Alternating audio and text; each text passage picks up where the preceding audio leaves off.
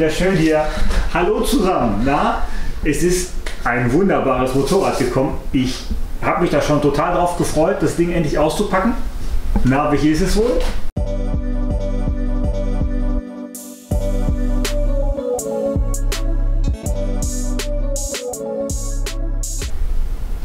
Genau, jetzt habt ihr sie gesehen, zumindest ein paar Stückchen. Ich habe ja auch schon vorbereitet mit einem ganzen Pamphlet an Neuerungen. Und äh, das gucken wir uns gleich zusammen in der Werkstatt an. Aber erstmal Unboxing und äh, die Übergabeinspektion und dann sehen wir uns gleich hinten wieder. Ne? Bis gleich. Ciao, ciao.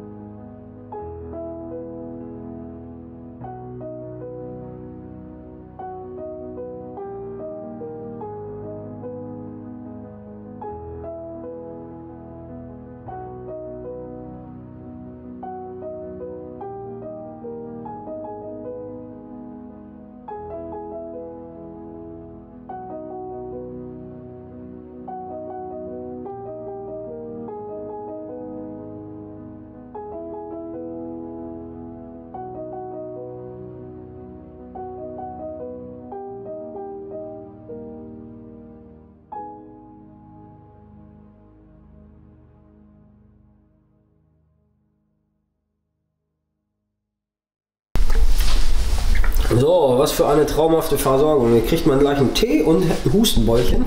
Genau. Ja. Der Meister ist nämlich mit Kleinigkeiten sehr großzügig. Na, aber da machen wir nochmal ein separates Video zu. Genau. So, geht los. Also, noch ein Schluck Tee, um meine Kehle zu.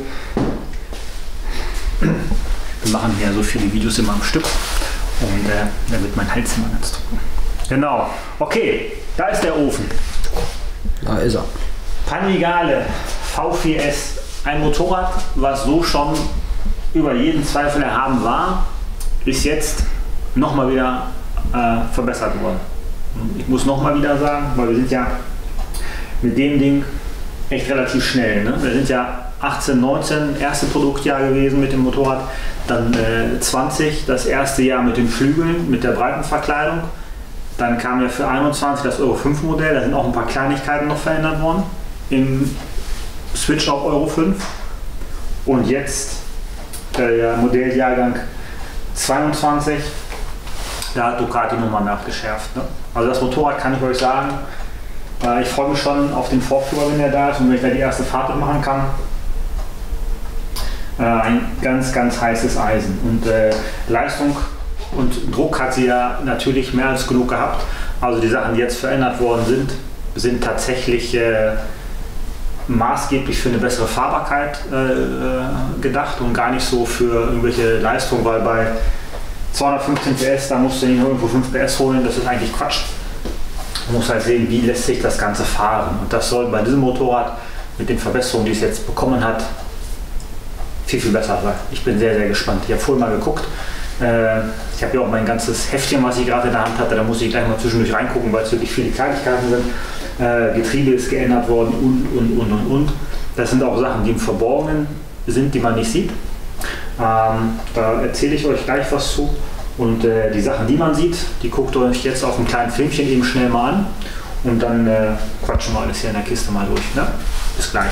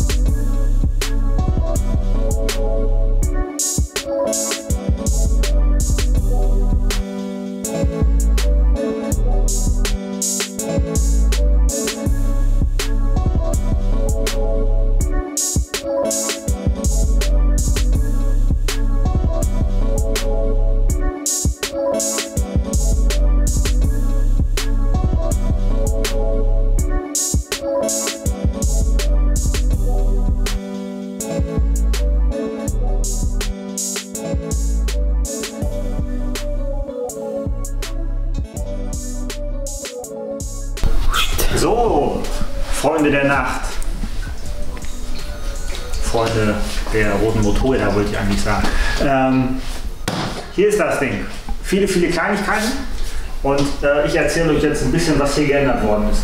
Äh, generell zu der Modellpalette. Es wird geben eine äh, Panigale V4 und eine V4S, so wie es in der Vergangenheit auch war.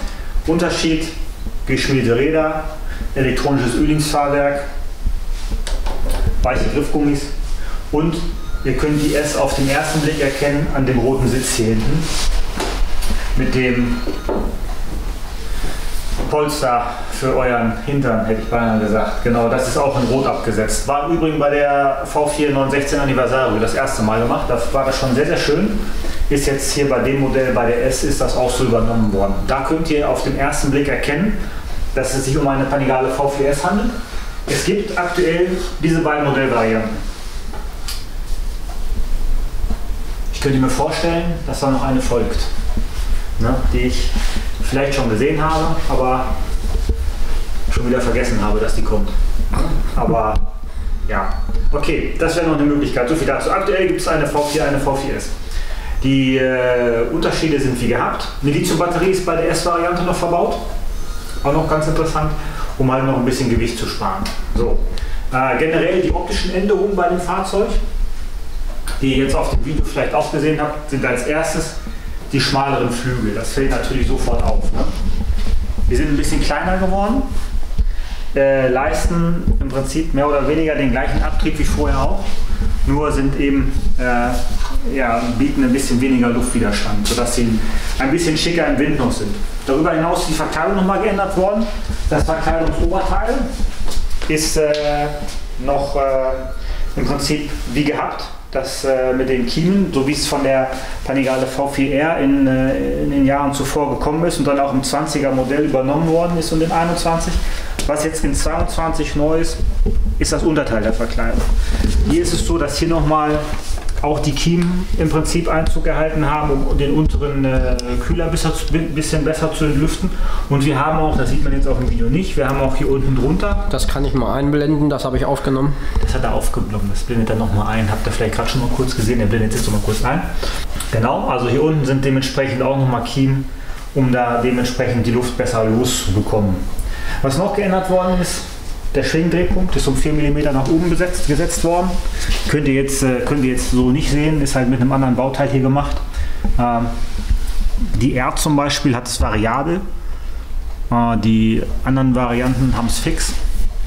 Und äh, hier ist es eben 4 mm nach oben gekommen. Soll das Motorrad in der Phase, wo ihr am Gas seid, ein bisschen stabiler machen. Ja, deswegen. Die Fußrasten sind schwarz eloxiert. Äh, beschichtet, eloxiert sind sie nicht, Entschuldigung. Fußrasten sind schwarz beschichtet und die Felgen haben jetzt keinen Rand mehr, sondern einen Balken. Die Felgen haben vorher rundum einen roten, roten Rand. Da sage ich ja schon seit zwei, drei Jahren, Felgenränder, so langsam sind sie out. Deswegen, auch hier hat man mich erhört, Es gibt einfach einen Sticker, ne, wie sich das gehört. Genau, das sind erstmal so die, die optischen Sachen, die man auf den ersten Blick sieht. Ist der auch einlackiert? Das ist eine Aufklärung. Der ist nicht lackiert. Glaube ich nicht. Weil das restliche Dekor ja einlackiert ist. Ja, genau. Also bei den S-Modellen oder generell bei den Panigale V4-Modellen sind die Dekore immer einlackiert. Dekore sind auch neu in schwarz. Man muss sich erstmal so ein bisschen daran gewöhnen, dass hier an der Seite so plakativ Ducati steht. Ne? Das ist schon relativ groß in Verbindung mit dem Panigale-Schriftzug. Aber ich muss sagen, das Motorrad habe ich jetzt ja schon ein paar Mal gesehen. Ich finde es gut. Ich finde es auch schön, dass es jetzt in schwarz ist. Wir hatten ja schon Silber, dann hatten wir weiß und jetzt schwarz. Das ist schon cool. Genau. An dem Tank waren wir gerade stehen geblieben, da wollte ich eigentlich gleich weitermachen. Der ist äh, auch neu von der Form. Ihr seht hier oben im Prinzip so, ein, so eine Sicke, dass sich der Tank nach unten hin zum, in dem Beinbereich so ein bisschen verjüngt. Ne? Das ist äh, sehr, sehr schön, weil mich persönlich hat es bei meiner V4 immer gestört, dass mich der Tank so, dass mir, dass der Tank mir die Beine so ein bisschen weit öffnet. Ne? Und äh, deswegen ist das hier nochmal äh, noch geändert worden. Ne? Genau. So, da bin ich wieder. Ich musste mal fix das Telefon bedienen vorne. Ne? Genau. Schmalerer Tank, schmalere Tankform. Sehr gut. Und äh, dementsprechend könnt ihr euch besser an das Fahrzeug adaptieren. Problematik bei dem breiten Tank ist manchmal ein bisschen schwieriger in den Bremsphasen, drückt das die Beine so auseinander. Was hier auch neu ist, da komme ich mal zu euch rum, um ein, die Öldienstgabel ist überarbeitet worden. Ist jetzt, äh, ihr kennt das hier unten an dem güldenen äh, Teilchen, ist jetzt äh, mit äh, Gasdruckbeaufschlag und bietet so noch mehr Reserve. No? Genau, das sind so die Teile, die ihr auf den ersten Blick erkennen könnt. Ähm, wobei, bei dem Schwingendrehpunkt, was ich euch da gerade erzählt habe, da müsst ihr schon ganz gut hingucken, das kann man eigentlich nicht so sehen. Geändert worden ist noch die Getriebeübersetzung. Ähm, Gang 1, äh, Gang 2 und äh, Gang 5 sind länger. Somit werdet ihr bei dem Motorrad im Landstraßenbetrieb eigentlich nur den ersten Gang brauchen. Weil ich glaube schon bei der, äh, bei der anderen Panigale ging der erste Gang, ich glaube schon bis 110, 120 knapp. Aber der, und der ist jetzt hier 11, irgendwas Prozent länger. Da geht es richtig stramm daher. Ne, ist natürlich auch eine Rennstreckengeschichte so ein bisschen. Und äh, daher äh, hat, man das, hat man das gemacht. Und nach oben raus den fünften ein bisschen länger, um die Lücke halt zu 6 zu schließen. Ja, sehr gut. Die Auspuffanlage ist leicht geändert worden, hat äh, einen vergrößerten Auslass, wobei wir hier jetzt von 105 dB sprechen. Sind ja schon von ganz anderen Zahlen gekommen. Auslass ist ein bisschen größer, um den Abgasgegendruck zu reduzieren. Dadurch entwickelt der Motor oben raus ja nochmal ein bisschen mehr Leistung, aber das ist mehr so ein, so ein, so ein Feinschiff gewesen. Äh, mit 105 dB dachte ich schon, oh jawohl, das Motorrad ist ein bisschen leiser geworden. Ich hatte die laufen, ich dachte, ich spinne. Also die ist Weiß ich nicht. Keine Ahnung. Wir können sie ja gleich mal anmachen draußen. Äh, oder zum Schluss vom Filmchen, wenn ich hier durch bin, machen wir sie draußen nochmal an. Die ist schon, schon stramm wieder. Ne? Also habe ich gestaunt. Genau, okay. Das sind alles so die Features von dem Ding. Was super cool ist, das möchte ich euch jetzt einmal hier am Dashboard zeigen. Wobei ich gucke noch mal kurz in mein Zettelchen, ob ich da irgendwas von der Hardware hier vergessen habe. Kein Aufkleber, kein Aufkleber. Die Basisvariante hat keine rote Sitzdinger. Hm. 1,5 PS mehr Spitzenleistung. Ne? Und äh, bei 14.500 2,5 PS mehr. Allerdings nur in Europa. Weil diese Auspuffanlage, die Länder wie Kanada, USA, die kriegen alle die Auspuffanlage nicht. Und Europa ist das einzige Land, wo die Auspuffanlage montiert wird. Ähm, da muss man mal gucken, wir werden das, das ist mir aufgefallen, wir hatten in der Vergangenheit zu den verschiedenen Ländern bei Ducati eigentlich keine großen Unterschiede. Äh, es wird aber anscheinend äh, jetzt immer, immer wieder vorkommen, dass es bei verschiedenen Modellen große Unterschiede gibt. Da müsst ihr dann tatsächlich mal gucken, ne? wenn ihr irgendwo irgendwelche Importe kauft. Böse, böse, böse. Äh, die sind tatsächlich äh, dann unter Umständen anders. Ne? Also sprich Auspuffanlagen und auch äh, die Geschichte mit dem Getriebe, die wir hier drin haben. Ähm, Quickshifter Performance wird verbessert durch die andere Getriebeübersetzung, haben sie uns hier noch geschrieben. 5 km/h mehr Endgeschwindigkeit für Europa, längerer sechster Gang. Genau, nicht fünfter, sechster war länger. 5 km mehr Endgeschwindigkeit. China zum Beispiel kriegt das Getriebe nicht, Taiwan auch nicht. Schwingendrehpunkt hatten wir. Rückwärts hatten wir. Lüftung hatten wir. Ja. Hatten wir alles. Eine Sache noch. Da habe ich auch gestaunt. Sitzhöhe. 850 mm. 850. Ja, eh stramm. Also die Panigale war ja so schon äh, nicht gerade niedrig. Und hier ist es tatsächlich so durch den anderen Schwingdrehpunkt und weil das Motorrad mehr auf äh, das Handling ausgerichtet worden ist, ist die tatsächlich nochmal deutlich höher geworden. Und als ich mich da drauf gesetzt habe, ich dachte, hey, die Spinne, ne? weil das hatte ich gar nicht irgendwie auf dem Schirm. Und äh, natürlich, klar, wenn das Motorrad im Drehpunkt äh, 4 mm hoch geht, dann geht das logischerweise da auch 4 mm hoch. Ne? Habe dann die Jungs aus der Werkstatt erstmal gerufen und äh, wenn man sensibel ist, das merkt man. Ne? Auch wenn es jetzt dann nur so ein paar Millimeter sind, also vier. Ne? Also ein äh, MotoGP-Fahrer zum Beispiel, wenn ihr dem das Fahrwerk einen Millimeter hochdreht, das merkt er. Weil er dann sich aufs Motorrad draufsetzt, so sensibel sind die Typen. Meine, wir merken ja auch schon vier. Von ist das schon geil, ne? genau, ich kann euch das mal kurz zeigen. Ne?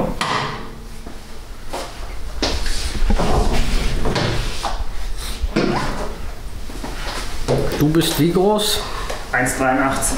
Also, so, das, das, das, das, äh, ja, das, äh, gut, ich reiche da gerade so mit hin, ne? Und ich habe noch die Welpenhose an, deswegen in der Flecken drauf. Nicht, dass ihr denkt, das ist vom Kaffee trinken. Also, das ist schon hoch, das Ding. Ne? Das ist schon echt. Das ist schon super hoch. Aber geil, also schon sehr cool. Für mich fällt es also raus. Für dich fällst du ja, ja, wobei, wenn du fahren kannst, guck dir Dani Petrose an. Der fährt die Dinge auch und der ist, weiß ich nicht, 1,50 Meter groß gefühlt. Ja. Genau. Okay. Ist auch so Thema Verlegung, ist auch hier bei der Pani echt schwierig bei der V4. Ne? Wir hatten ja bei der V2, die hat ja noch so ein relativ komplexes Umlenksystem. Da hatten wir ja ein Video von gemacht. Äh, findet ihr alles in der Videothek. Und das funktioniert bei der V4 nicht so einfach. Ne? Also da müsst ihr tatsächlich gucken. Ne? Okay, genau. Jetzt schauen wir uns das schöne neue Dashboard an.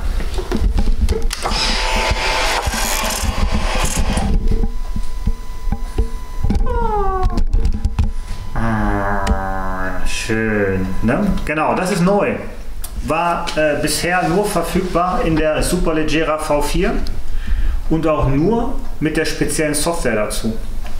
Hier ist es jetzt so, ähm, ich verlasse das Ding mal eben und dann äh, gehen wir mal in äh, die Standardgeschichte, die ihr kennt. So, das ist im Prinzip das V4 Layout, V2 Layout. Also das ist eigentlich das Layout, äh, welches ihr so kennt. Ne? Ihr habt äh, Drehzahlmesser, Ganganzeige, Geschwindigkeit, alles äh, relativ äh, easy. Unten habt ihr einen Bordcomputer. Hinten habt ihr die äh, Parameter, Wheelie Control, Slide Control, EBC, Traktionskontrolle, alles Mögliche. Ne?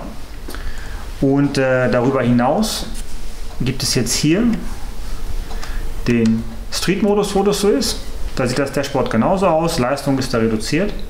Und ihr habt Race B und Race A, beziehungsweise A und B, je nachdem, wie ihr das haben wollt. Das hatte im Übrigen, das A und B hatte auch schon bei der Panigale V4 das 2021er Modell, aber nur das. Das 20er Modell hatte es nicht. Also Race A, Race B ist auch schon mit der Homologation auf Euro 5 eingeführt worden. Da ist es so, das ist im Prinzip ein, ja, ein, ein sportlicher oder ein rennsportlicher Modus, wo aber verschiedene Leistungen, seht ihr oben, Engine, Medium, Medium und High, wo es da nochmal Unterschiede gibt in der Abstimmung. Ne? Wenn ihr ja, verschiedene Griffigkeiten im Asphalt habt und einfach mit einem Motorrad, was nicht ganz so griffig ist, besser zurechtkommt. Ne? Dazu gibt es zwei verschiedene Race-Modi. Ja? So, was jetzt neu ist, wenn er den auswählt, so, ist dieses Layout. Was natürlich sehr, sehr, sehr, sehr geil ist. Also das ist im Prinzip schon ganz nah dran an dem MotoGP-Motorrad. Ich weiß nicht, wer sowas schon mal gefahren ist, der hat das schon mal gesehen. so sieht es halt aus, ne? Genau. Was jetzt hier äh, schön ist, ihr habt den, die Ganganzeige halt wirklich mega groß im, im Sichtfeld, dass ihr genau seht, alles klar, welcher Gang ist da drin.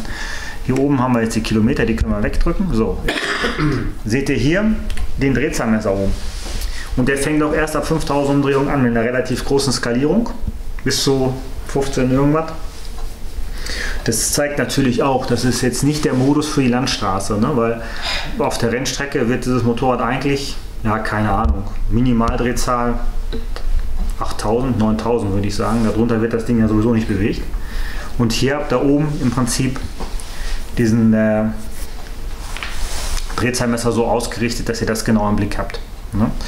Die Fahrhilfen, die jetzt gerade eben noch relativ klein dargestellt waren, wie Traktionskontrolle, Wheelie Control, Slide Control und EBC, sind jetzt seitlich schön groß, groß markiert, dass ihr das gleich erkennen könnt, was da Phase ist. Hier unten habt ihr nochmal den Hinweis, dass die äh, Traktionskontrolle im Prinzip, äh, dass, die, dass das ABS hinten im Prinzip aus ist. Ne? So habt ihr alle quasi, ja, alle wichtigen Sachen gleich im Blick. Was jetzt sehr schön ist, hier an diesem orangen Lichtlein könnt ihr sehen, dass ihr auf der Traktionskontrolle mit dem Select-Knopf geparkt seid. Ich drücke jetzt mal den Select-Knopf und dann könnt ihr sehen, wie es von Traktion zur Wheelie Control in Blau, in Grün zur Slide Control und Pastell, Orange irgendwie in, das, in die Engine Brake Control springt. Ja?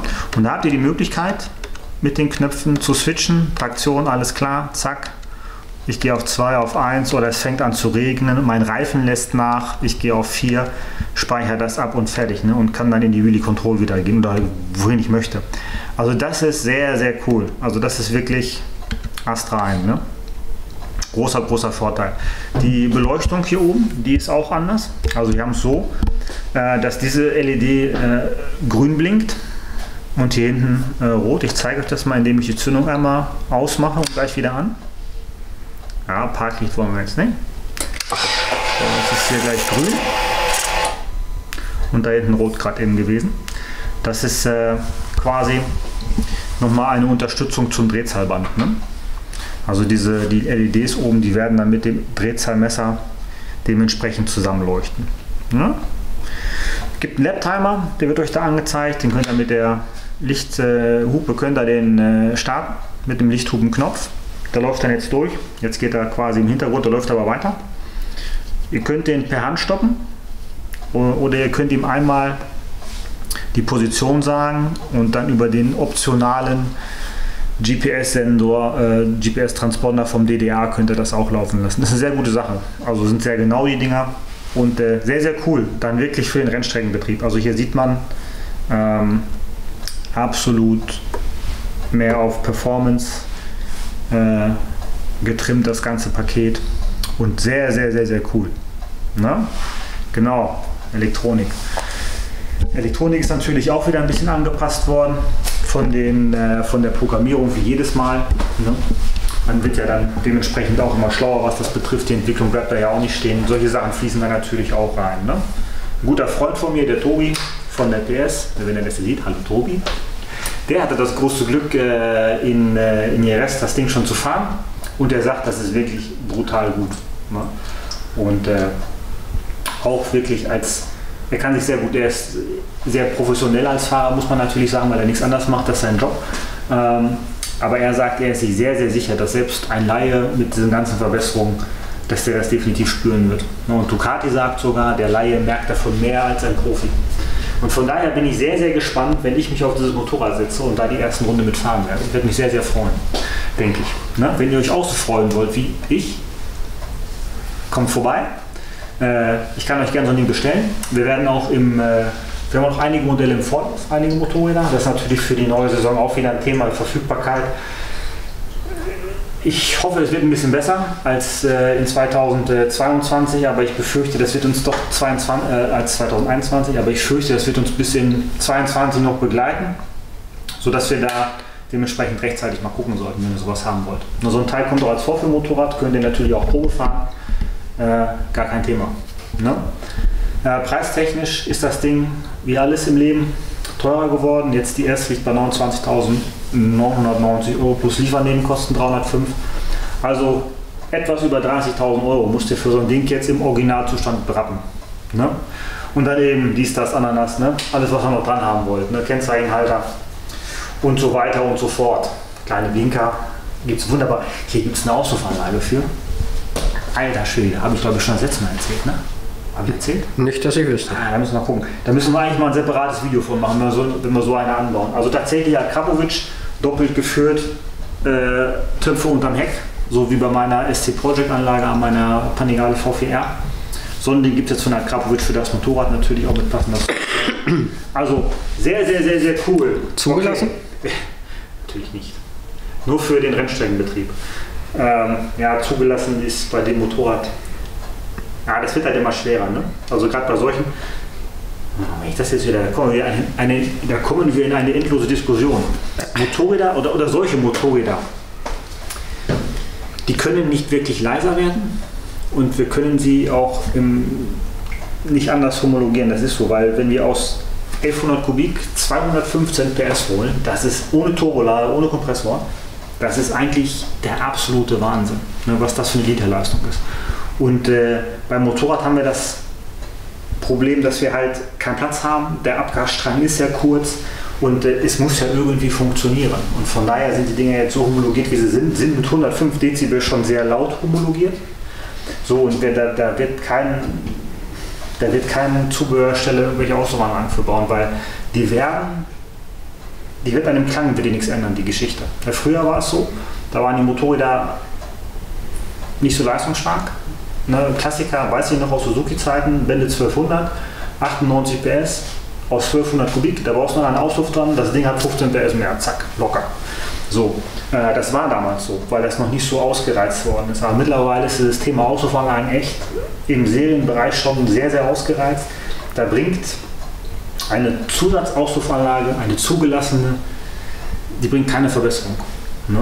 Weder in der Leistung noch im, äh, noch im Klang. Das ist einfach so, weil die Originalauspuffanlagen bei solchen Motorrädern zumindest schon so gut sind, äh, dass, ja, was willst du da machen? Und da kannst du dich bei der Geschichte, so wie wir es machen, Auspuffblendengeschichten, dies, das, das kannst du machen. Da kannst du dir noch so ein bisschen das Ganze individualisieren oder den wirklich silbernen Schalldämpfer, der da unten dran hängt, so ein bisschen anpassen, dass das bei dem Fahrzeug sich besser integriert. Aber dann war es das auch, ne? Klar. So die Racing-Anlagen, die es gibt, kommen, äh, egal ob es ein Slip-On, die gibt es hierfür auch, oder die Komplettanlage, kommen alle mit einer Software und schon allein daher ist die Homologation halt sowieso weg. Ja, das ist so der Punkt. Die, die Lautstärke ist bei den Racing-Anlagen teilweise gar nicht mal so das Thema. Also diese Komplettanlage, über die ich gerade gesprochen habe, die wird 105 Dezibel haben, also das, was wir hier auf dem Rahmen stehen haben. Und es gibt dafür sogar einen dB-Killersatz, der die Auslaufanlage auf 102 dB reduziert für Rennstrecken, wo es Funkbegrenzungen gibt. Da sind wir ja auch schon mittlerweile. Also das wird äh, unter Umständen gar kein Klangproblem sein, aber dadurch, dass natürlich eine andere Software dabei ist, um die Performance zu erzielen, ist da natürlich nichts mit einer Zulassung zu machen. Ne? Von daher denke ich mal, ne? aber wie gesagt, für Rennstreckenfahrer ja, da macht Sinn, weil die Fahrbarkeit deutlich besser wird. Aber für den Landstraßenbereich macht es auch nicht unbedingt Sinn, hier den Auspuff zu tauschen. Ne, es sei denn, klar, Karpovic bietet ja über Ducati Performance diesen zugelassenen Schalldämpfer an. Der, er ist einfach sehr schön. Ne, das ist halt für, für Leute, die sagen, ich mag diese Materialanmutung, das Titan, äh, das Carbon, das gefällt mir sehr, sehr gut. Und ich baue mir deswegen den Schalldämpfer an. Ne, der wird genauso laufen wie der auch. Ist vielleicht ein Hauch dumpfer, ein bisschen anders vom Klang, aber ist jetzt nicht so komplett was anderes. Genau, jetzt haben wir über Klang geredet, jetzt schmeißen wir den Ofen an. Wollen wir es draußen machen, ja, ne? Ja. Weil hier drin, hier drin wird das sowieso nichts mit Schall und so. Und Dann mache ich mal eben einen Cut und wir sehen uns ja, draußen. mach mal einen Cut, genau, wir sehen uns draußen. Da kommt der gute Mann. Da ist er. Das- Wir mussten uns tatsächlich noch Jäckchen anziehen und Mützchen aufsetzen, weil es ist echt arschkalt geworden. Ihr seht doch schon, wie schräg die auf dem Seitenständer steht, ne? Moment, Also ich die- filme mal von vorne. Film mal von vorne.